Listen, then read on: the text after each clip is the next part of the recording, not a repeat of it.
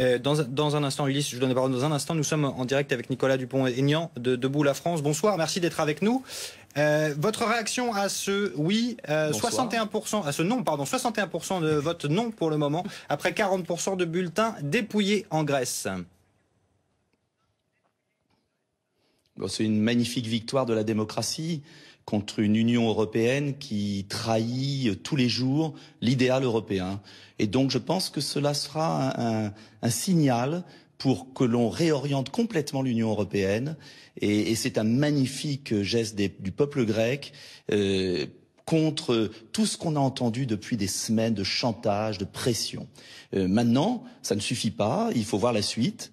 Et, je pense qu'on va obligatoirement vers la sortie euh, de la Grèce de l'euro. Simplement, il faut que cette sortie soit organisée en douceur. Et, et puis ensuite, ce sera le Portugal, l'Espagne, la France et l'Italie. Et ce sera une très bonne nouvelle pour la croissance économique en Europe.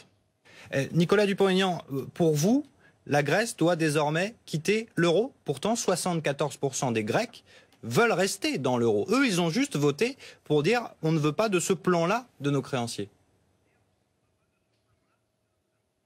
C'est sûr, mais euh, qu'est-ce qui est important? C'est que les Grecs puissent retrouver de la production, de la richesse, qu'ils créent de la richesse chez eux. Et quand on regarde les dix pays de l'Union européenne qui n'ont pas l'euro, parce que personne n'en parle, il y a dix pays dans l'Union européenne qui n'ont pas l'euro, qui ont des performances bien meilleures, parce que leur monnaie est flexible. Et on sait tous que en sortant de l'euro, la Grèce va pouvoir retrouver de la compétitivité et donc en partie nous rembourser. Parce que moi, je suis très surpris. Si on redonne de l'argent à la Grèce après ce non, on va retrouver la même situation dans six mois, dans un an.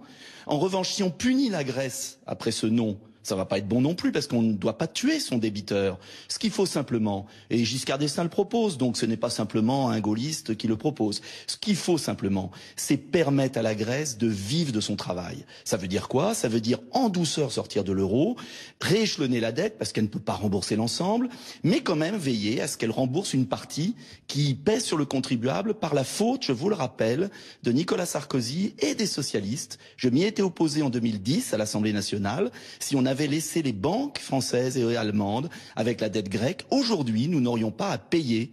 Et je voudrais qu'on rappelle cela aujourd'hui. Donc, il faut tout faire pour qu'une partie de la dette soit remboursée. Et pour qu'une partie de la dette soit remboursée, il ne faut pas tuer la Grèce. C'est la leçon des quatre années qui viennent de passer. Merci Nicolas Dupont-Aignan d'avoir été avec nous ce soir pour cette réaction.